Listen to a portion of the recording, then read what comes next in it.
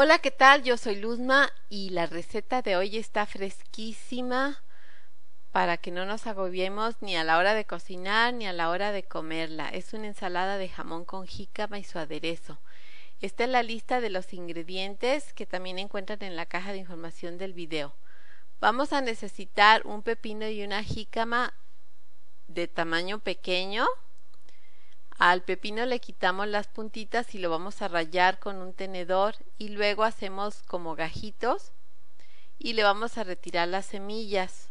Después lo picamos en cubitos y lo llevamos a un tazón. Enseguida vamos a pelar la jícama bien peladita por todas partes y la vamos a hacer cubitos también. Estamos utilizando jícama de agua que es más fresca y jugosa que la jícama que llamamos de leche, que es como más espesita, más fibrosa. Vamos a añadirla al tazón de los pepinos y nos vamos con el jamón. Este es jamón de pavo, la rebanada pesó 125 gramos y la vamos a hacer cubitos también. La añadimos al tazón y tenemos queso panela.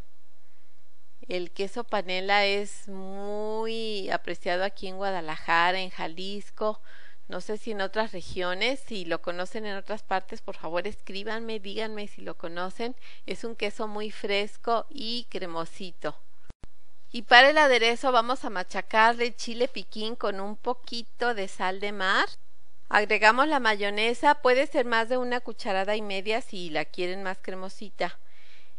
La salsa de soya, y esto lo vamos a mezclar, es todo lo que lleve el aderezo. Cuando ya tenga un color uniforme, ya está listo. Mezclamos nuestras verduras para que vaya bien mezcladita la ensalada y luego en un tazón, plato, charola, donde quieran presentar su ensalada, ponemos una o dos hojas de lechuga y aquí servimos la ensalada toda que bien puede ser una porción individual si va a ser la comida o la cena de, de alguien, o puede servirse como guarnición, entonces ya les alcanza para cuatro personas.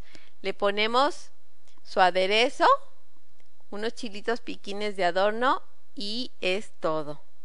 Fresquísima, deliciosa, el aderezo sabe muy rico, anímense a probarlo.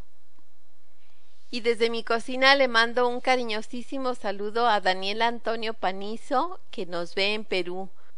Muchas gracias por acompañarnos y por favor sigue con nosotros. Y les pido que nos regalen un me gusta, que recuerden compartir el video, el canal con otras personas. Y si no están suscritos, invitadísimos a suscribirse ahora mismo. Un abrazo. Bye.